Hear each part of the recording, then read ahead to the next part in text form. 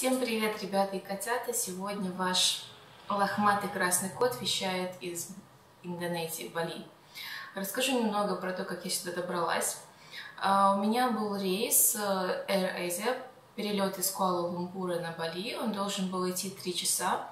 Но проблема в том, что из-за того, что Куала-Лумпур это эм, довольно большой город довольно просто безумной транспортной системой. На самом деле она не такая безумная. То есть я думаю, что мне еще предстоит увидеть города с более стрёмными транспортными системами. Но в Куала-Лумпуре иногда, чтобы добраться из одной точки в другую, э, используя транспорт, приходится тратить более трех часов. Соответственно, э, мой рейс, он должен был быть в 6. Я подумала, наверное, лучше я выйду в час, на всякий случай. Ну, хотя на самом деле это действительно было сильно заранее. А, просто предугадать, будут ли пробки, не будут, а, очень сложно.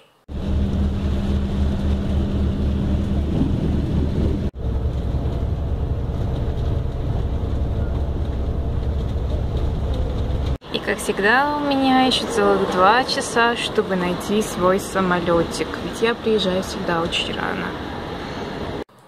Соответственно, три последних дня в Куала-Лумпуре шел дождь. И, конечно же, я под него попала. Промокла до нитки, у меня были полностью мокрые штаны, полностью мокрые кроссовки. В таком виде я добралась на центральную станцию. А, в Куала-Лумпуре есть центральная станция, с которой ходит практически весь транспорт во все уголки, то есть это как узел, их идет транспортный. И там же есть а, экспресс-поезд до аэропорта и автобус. Автобус дешевле, соответственно, конечно, я поехала на автобусе. Если кому-то нужно, я могу э, попробовать, попробовать снять видео про то, как добираться от аэропорта э, в эту центральную станцию, как она выглядит, как устроено метро. Потому что, ну, на самом деле, э, с одной стороны, все довольно просто, но если не разобраться, то может быть сложно. То есть из-за того, что я останавливаюсь на каучсерфинге, мне постоянно помогают местные жители, говорят, куда идти, что делать. Хотя, с другой стороны, можно всю эту информацию найти в интернете. Вот, короче, добралась я в аэропорт. Как я обычно привыкла, э, все устроено, полеты у нас, ну вот в России, например, ты идешь на стойку регистрации, тебя там регистрируют, дают посадочный талон, взвешивают твой, э, твою ручную кладь, после этого тебя проверяют еще раз, сканирует твой багаж, и после этого а, идет миграционный контроль. А в этом аэропорту все было совсем по-другому. Первый этаж это просто какой-то гигантский торговый центр, в котором можно потеряться. Указатели, я не скажу, что прям очень хорошо устроены, но, в принципе, я поняла, что мне нужно идти на второй этаж. И, в принципе, я поняла, что мне не нужно регистрироваться. Соответственно, кто проверяет вес моего багажа, не очень понятно. Я в аэропорту. Меня даже никто не шмонал. Это было странно. Не посмотрели ни вещи, не доставили ни компьютер достать. Как-то все очень либерально, если честно. Мне не нравится. Когда я шла а, на стойку а, проверки, проверки багажа, а, ну, в смысле, то место, где его сканируют и проверяют, что ты не везешь ничего запрещенного, я увидела мужчину с весами, который так подозрительно поглядывал по сторонам, и он остановил какого-то мужика, я так незаметно прошмыгнула, соответственно, мой багаж никто не проверил. У меня э, AirAsia, они э, разрешают 7 кило провести, всего лишь 7 кило. У меня весь мой багаж 8,5, и, ну, конечно, если там распихать по карманам, одеть на себя всю одежду, то будет 7, но мне не очень хотелось этого делать и ходить в таком виде, соответственно, я просто сложила все и мне повезло, меня никто не проверил. Естественно, когда я прошла эту проверку, иммиграционную проверку, я оказалась в зоне duty free, которая тоже была просто огромной и очень красивой.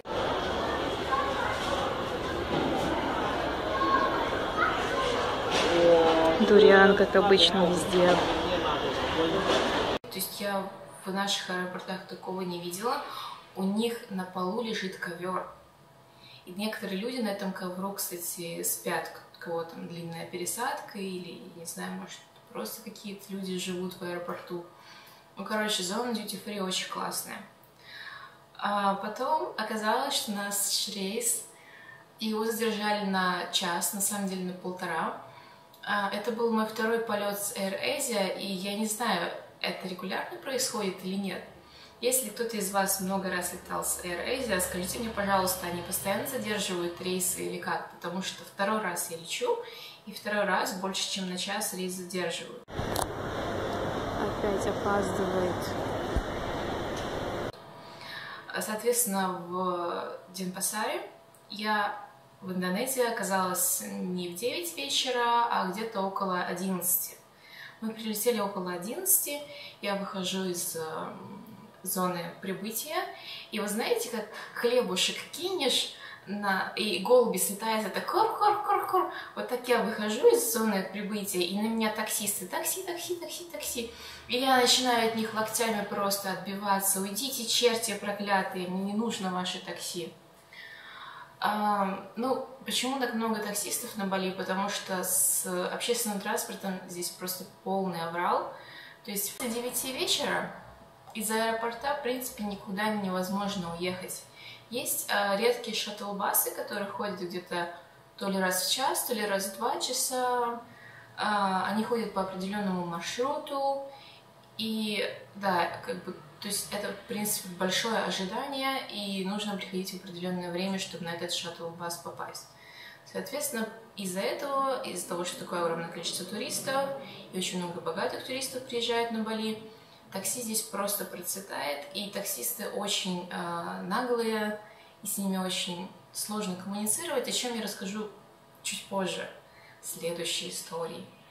Вот, к счастью, мне попался очень хороший хост, девушка, которая встретила меня на машине, мы доехали к ней, э, и на следующий день э, я вышла погулять по Демпасару, потому что мне было очень интересно посмотреть, все-таки это крупнейший город на Бали, но если я думала, что в Таиланде полный пиздец с, прогул... с прогулками, то нет, это здесь, на Бали. А здесь, в принципе, нет зоны для пешеходов. Есть только дорога, по этой дороге ездят машины и мотобайки, и обочины, в принципе, нет. То есть есть вот такая вот маленькая полосочка, которая, ну, вот есть сбоку каждой дороги, да, и то есть, я не знаю, я пыталась по ней ходить, но это было очень опасно, я постоянно боялась, что меня собьет какой-нибудь мотобайк, тем более, что, например, если какой-то машине нужно припарковаться, например, вот едет грузовик, да, он везет какой-то товар в какой-то э, магазин, ему нужно припарковаться, а где припарковаться? Нет же никакой ни обочины, ни тротуара, они паркуются прямо посреди дороги, соответственно, даже если ты по этой дороге идешь, и перед тобой становится грузовик, тебе нужно его как-то постараться обойти так, чтобы едущие сзади машины, которые тебя не видят, когда ты будешь этот грузовик обходить, тебя не сбили. Короче, меня это все очень сильно выбесило, еще больше меня э, разозлил тот факт, что здесь э, невозможно найти крем от загара, я обошла несколько магазинов, нигде никто не слышал про крем от загара. Все вот в Индонезии вот так вот живут, никто не предохраняется от солнца. И э, найти что-то очень сложно. Весь мой день практически ушел на то, что я пыталась найти магазин, в котором был бы крем с SPF 50. Я его не нашла. У меня сейчас какой-то местный бальзам с SPF 30, из которого я вот покрылась какими-то красными полосками. И на самом деле я даже не уверена, что это крем от загара, потому что все написано на непонятном языке. Но продавщица сказала, что да, да, это от загара. После такого большого разочарования в местном транспорте я попросила девушку, которая меня хостит, что вообще можно сделать? Ну, потому что, как бы, вот есть э, шаттл-басы местные, Кура-Кура-бас. Они ходят раз в два часа по определенным маршрутам. Они стоят довольно дорого, и, соответственно, они редкие. Это, ну, как бы, их ждать, еще и кучу денег платить за этот шаттл-бас, как-то вообще не алё. О, Господи, я сижу и постоянно потею. И вот она мне сказала, что есть э, классное приложение Grab, в котором можно заказать э, онлайн-такси. Если заказывать машину, выйдет э, довольно дорого, но можно заказать мотобайк. То есть за тобой приедет человек на мотобайке, даст тебе шлем и довезет тебя куда ты хочешь. Это будет в три раза дешевле, чем если ты заказываешь машину. Э, и я установила это приложение, и мне так повезло, что первая моя поездка, она мне выпала бесплатной. Я, конечно, очень обрадовалась. Ну, она бесплатная до определенного расстояния. И максимальное расстояние, куда я могла уехать, это был город Убуд. Это культурный центр на Бали, в котором очень много, э, очень много храмов. И там вокруг Убуда очень много рисовых полей, очень красивых. Я всегда хотела на них посмотреть. Соответственно, я вызвала это такси, а, доехала на максимальное расстояние, которое было мне бесплатно, после чего я 10 километров гуляла по этим рисовым полям. А, когда я нагулялась, время уже шло к пяти вечера, потому что тоже ходить по Убуду а, местами можно, потому что город туристический, обочины есть, местами их снова нет, и мне приходилось идти в одном потоке с машинами, и вот в 5 вечера я пытаюсь заказать себе мотобайк обратно. И сталкиваюсь с такой ситуацией, что я заказываю, я делаю заказ, соответственно, мне говорит, э, мне говорит это приложение, что поездка будет стоить 40 тысяч рупий. Да, здесь такие деньги. Один доллар это 15 тысяч рупий. Соответственно, когда я в банкомате постаралась снять 100 долларов, мне банкомат выдал полтора миллиона рупий, то есть я теперь миллионер. Круто, да? Но, правда, не то, что меня очень горела такая сумма, потому что я все равно понимаю, что полтора миллиона мои — это 100 баксов. Я сходила в банкомат, сняла денег, и вот здесь миллион. Теперь я миллионер официально. Правда, в индонезийских рупиях, но все равно вы можете видеть, здесь ровно миллион денег. В общем, пытаюсь я вызвать это такси. Мне приложение говорит 40 тысяч э, нужно заплатить. Э, там э, в Грэбе есть две системы оплаты cashless и with cash. Если ты без кэша через приложение платишь, это дешевле. Я попросила свою, своего хоста положи мне, пожалуйста, деньги на мой счет, потому что почему-то моя украинская карта не захотела привязываться. Она мне положила денег, меня было вот 75 тысяч рупий на счету, и я подумала, ну вот классно, как бы я доеду э, за 40 тысяч, а если э, бы я платила кэшом, это приложение говорило, что ты можешь заплатить кэшом 50, или ты можешь поехать по своему кэшлес счету за 40. Я выбрала за 40, конечно же. После чего мне таксист в личное сообщение пишет, я довезу тебя за 250 тысяч. Я такая, ничего себе, 250 косарей. Вот это да. Я отменила заказ, после чего э, перезаказала снова. И второй таксист мне пишет сообщение, что я поеду, если ты мне сверху на руки дашь 80 тысяч деньгами. И причем он мне еще позвонил такой и говорит, типа, я вот, ну, как бы не поеду, мне это невыгодно, если ты мне дашь сверху 80 тысяч кэшом, тогда окей. Я просто сижу и офигеваю, что такое? А, ну, я как понимаю, что, окей, 80 тысяч э, рупий это, ну, 5 евро, да?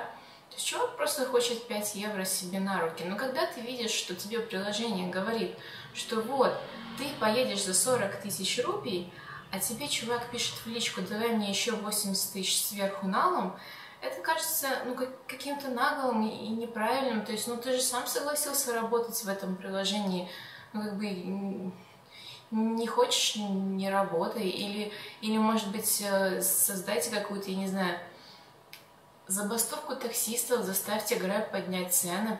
Ну, потому что как бы такое вымогательство мне, в принципе, оно претит. Соответственно, я отменила эту поездку тоже. После чего я пыталась заказать третью поездку, э, которую никто не захотел брать. То есть я делаю заказ, его никто не берет. Соответственно, я нахожусь в 20 километрах от дома и э, не могу ехать. Плюс начинается дождь. Соответственно, когда начинается дождь, э, на мотобайке ездить не очень круто, и многие таксисты просто там сворачиваются и уезжают. Соответственно, я сижу, и льет проливной дождь, я в 20 километрах от дома, и не знаю, как мне добраться. А, единственный вариант, который вот был, это ну, заказать машину, но машина бы стоила То есть приложение мне говорило, что машина тебе обойдется в 110 тысяч. То есть, э, да, это, это все еще меньше 10 долларов. Ну, где-то 8 долларов, наверное. Но все равно, как бы, когда ты приезжаешь в местную страну и знаете, что я путешествую при очень скромном маленьком бюджете, когда тебе онлайн-приложение говорит, что ты доедешь за 40 тысяч, ты начинаешь мыслить другими категориями, что вот я хочу доехать за 40 тысяч. Я не хочу никому на руки там доплачивать, не, не хочу переплачивать, я вот хочу доехать так, как ездят, по идее, местные жители. Короче, я просто не знала, что делать. Я начала идти по, по дороге. Шел проливной дождь. Время от времени я чекала это приложение, может, там появились какие-то байки, которые взяли мою, мой заказ. Никто мой заказ не брал. После чего я попыталась автостопить. Это была ну, как бы очень неудачная идея, потому что, ну, во-первых, нет обочины, во-вторых, просто безумный трафик, то есть машины и мотобайки просто прут, прут, прут. Если кто-то остановится, это будет огромная проблема для всего потока. В конце концов остановилась меня какая-то женщина. Она спросила, в чем дело, я ей описала ситуацию. Она мне сказала, что, ну, наверное, это потому, что ты у оживленной дороги стоишь, давай, типа, поедем ко мне, я там в переулке живу, я обычно вот заказываю из дома такси, никогда нет никаких проблем. Мы поехали к ней, сели у нее в холле, и мы стали пытаться заказать мне такси домой, мотобайк. Соответственно, здесь кроме Grab есть еще второе приложение, GoJet. Я пыталась через Grab заказать, она пыталась заказать через GoJet. В Grab ситуация была опять стабильна, никто не брал мой заказ. В GoJet э, кстати, выдавалось 35 тысяч наличкой, то есть без всяких пополнений на какой-то там кэшлess счет. Но а после того, как какой-то таксист взял наш заказ, он сказал, ну вы знаете, как бы уже вечер дождь, я поеду, но не за 35, а за 150. Причем, что помните, что машина через Grab должна была стоить 120. Он хотел 150. А мы отменили этот заказ, а, Попытались второй раз, я уже отчаялась, уже думала, что мне нужно будет вызывать машину. И тут э, этот второй раз, когда девушка пыталась заказать машину, э, такси через э, GoJet, вызвался какой-то парень, сказал, что окей, я еду в ту сторону, но проблема в том, что я сейчас далеко. Если вы меня минут там 10-15 подождете, я приеду. И вот наконец-то 8, 8 вечера. Я напомню, что я в 5 вечера начала вызывать такси. В 8 вечера за мной приехал парень, который довез меня домой за 35 тысяч. Я хотела сегодня поехать на озера, но после вчерашнего я просто не знаю, как бы я с этих озер обратно выбиралась. А, темнеет здесь на Бали э, в 6 вечера, а, то есть, по идее, если ты хочешь максимально световой день поймать, нужно вставать в 6 утра. Но никто же в 6 утра не встает, рабочий день начинается в 9, соответственно, вот световой, световое время, когда ты можешь что-то делать, это с 9 утра до 6 вечера. Не так много времени, чтобы съездить на какие-нибудь озера, которые, например, в 40 километрах от города находятся. Короче, вот такие дела, ребята. Если вам интересно слушать всю эту херню, мои душеизливания, можете подписаться на меня, на этот канал, не знаю, и можете написать какой-то комментарий, эм, чего рассказать.